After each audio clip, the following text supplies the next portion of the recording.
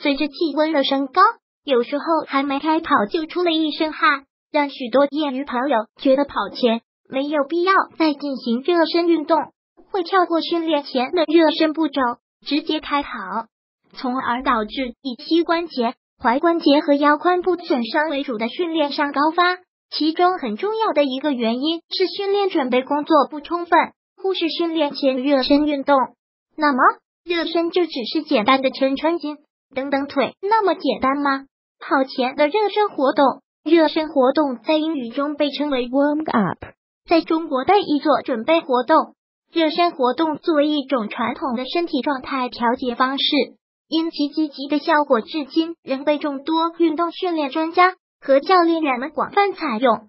他们都认为，热身活动不仅能提高训练水平。为取得好的运动成绩创造条件，而且也能减小运动损伤的可能性。热身活动的主要目的是提升总的身体，特别是深部肌肉的温度，拉长胶原质纤维的长度，以使具有较大的柔韧性，且使肌肉的粘滞性下降，提高肌肉的收缩和舒张速度，增加肌力，这就会减小肌肉拉伤和韧带扭伤的可能性。而且有助于防止肌肉的剧痛感的出现。热身活动的作用：一、有效的克服人体生理惰性。人体在剧烈运动时，肺通气量可高达七十到一百二十公升每分，而相对安静时仅为三公升。如事先不热身或热身不当，心肺功能不可能很快满足运动供氧之需求。加大供氧途径是人体在剧烈运动中保持热能来源的决定性环节。人体肌肉养料来源的途径是毛细血管，平时相对稳定状态下，人体的毛细血管并非全部开放，约有十分之九是关闭的。而剧烈运动时要求肌纤维收缩加强，强度收缩的肌纤维需要大量养料供应，以保障运动时能量的消耗。这是毛细血管往最大限度开放至关重要。运动时毛细血管的开放。是平时的二十到二十五倍。如运动前不热身或热身不当，毛细血管网的开放动作在短时间内很难达到需求。二、提高肌温，肌温及肌肉的温度在运动中较高而适宜的肌温是人体细胞代谢高速进行的保证。运动前适宜热身，可提高肌温三度以上。肌温每增加一度，肌细胞的代谢速度约增加百分之十三。即是说，加快了氧从血液到组织的交换速度，无疑是提高了机体的工作能力。三、加温肌腱韧带，肌腱韧带的温度提高，可使其柔韧性、延展性加强，扩大其活动范围，剧烈运动时不易受伤。同时，关节囊黄润液分泌的加强，又加大了关节活动范围和灵活性，这可最大限度的避免剧烈运动时关节的损伤。进而提高动作幅度。四、稳定机体组织二氧化碳。较好的热身可使肺泡中的二氧化碳处于稳定状态，这是保持运动能力的先决条件。热身后肺通气量加大，肺泡最大限度的开放，氧的输送得以保证，机体组织较少出现氧化，使之新陈代谢能力加强，肌肉较高工作能力得以持续。这在持续性的中长跑活动中尤为重要。运动前的热身不宜简化，热身也是讲究顺序的，即从强度低且缓慢的动作开始，慢慢过渡至强度高、速度快低动作。无论是赛前或日常训练，基本方法都一样。想要让热身更有效，必须仔细安排好先后顺序，并规划好时间，以二十分钟左右为宜。热身顺序大致如下。一、预先准备，根据个人状况进行热身，对疲劳感强的部位周边进行动态伸展，或者按照接下来要练习的内容要求，容易引起的受伤等进行轻量运动，持续三到五分钟。二、慢跑，进行慢跑，慢慢提升速度，直到微出汗。慢跑过程中，如果能加入一些简单的变化，效果会更好，如行进间扩胸运动等等。三步法练习，慢跑结束后不要休息，以走路等方式一边移动脚步，一边进行五到八种的轻量步法训练，以将要运动的实际动作作为训练动作。此阶段的主要目的是改善主要关节周边的动态柔韧度，并加入预防伤害的动作。四、伸展运动，体温和肌肉温度上升后，便可以进行以改善各关节动态柔韧度为目的的伸展运动，以动态伸展为主，也可在中间穿插静态伸展。业余跑者应该怎么做热身？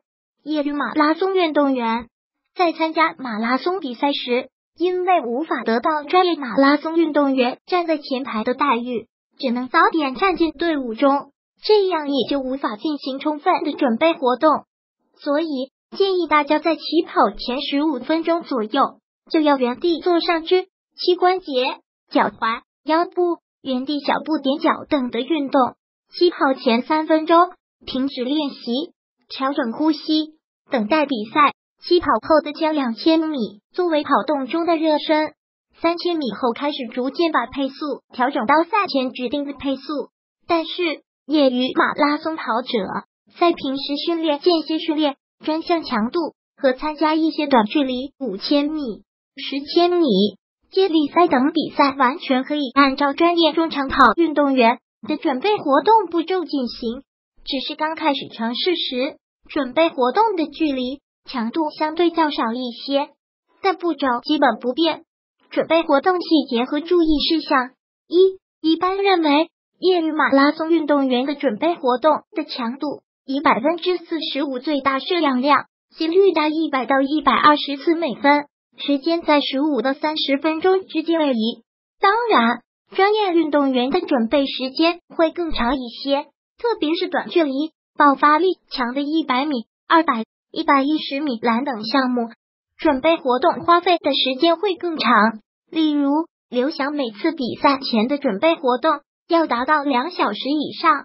二、准备活动还应根据赛程安排、个人习惯、训练水平和季节天气等因素适当加以扫整。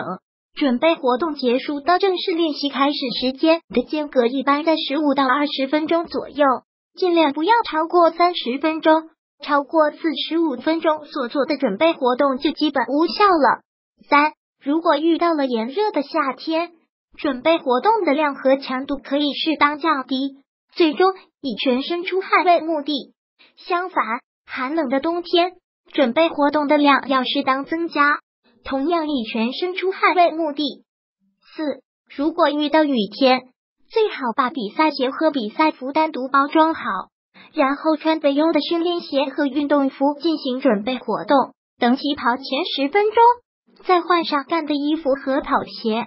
五、准备活动初期进行慢跑时，要注意压制自己的兴奋，减少和熟人聊天说话，静下心来去做热身。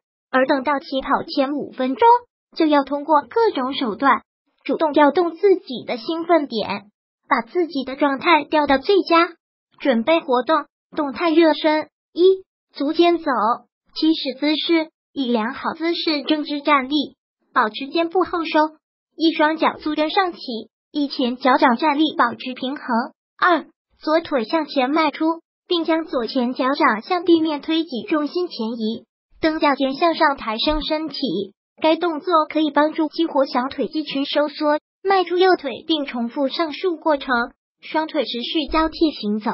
二足跟走，起始姿势以良好姿势正直站立，保持肩部后收，一抬起足尖。二左腿向前迈出，并将身体重量压在足跟部位，保持足尖朝上。该活动可以激活胫前肌、小腿前部从膝盖延伸至踝部的肌肉。迈出右腿，并重复上述过程，双腿持续交替行走。三踝侧走，起始姿势。以良好姿势正直站立，保持肩部后收，一将双脚内翻，依靠双脚外缘保持平衡。二将右脚迈出，并将身体全部重量落在迈出的右脚上，并最终将右脚足弓贴着地面，迈出左脚，重复上述动作，双脚不断交替进行练习。四脚踝踢踏，起始姿势正直站立，保持肩部后收。一在保持从脚后跟到头部整体的身体姿势正确的前提下，拉提左脚脚尖指向天空，通过脚踝背屈，同时利用髋屈动作使左后脚跟提离地面，注意膝盖不能弯。二通过收缩腓肠肌与比目鱼肌直屈，爆发性的推动你的脚掌敲向地面，右脚重复此动作，将快敲击地面约五幺零 m 的距离。注意力集中于敲击地面的爆发性力量与缩短每指脚与地面的接触时间上。五。手肘拉伸，重如式行走，起始姿势，保证双腿伸直，全脚掌着地，俯身，双手撑的抬高臀部，双臂尽可能向前伸展。一到二，保持整个背部和腿部平直，慢速向前走，再保持双腿伸直情况下，双脚尽可能向撑的双手移动。做此动作时，应感觉腘绳肌和下背部的拉伸。三，当结紧撑的手后，慢慢的用手向前走。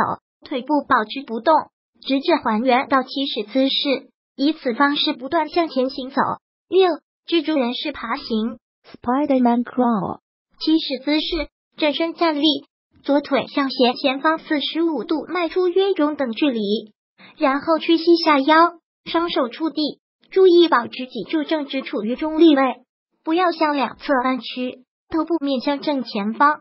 一到三，起始姿势是迈出左腿时。双臂交替向右腿行走，与此同时将右腿迈向前方。七蝎子摆腿，起始姿势面部朝下，俯卧于地面，双腿伸直，双臂向身体外侧展开伸直。一慢慢的将你的右腿绕到身体左侧，保持十 S。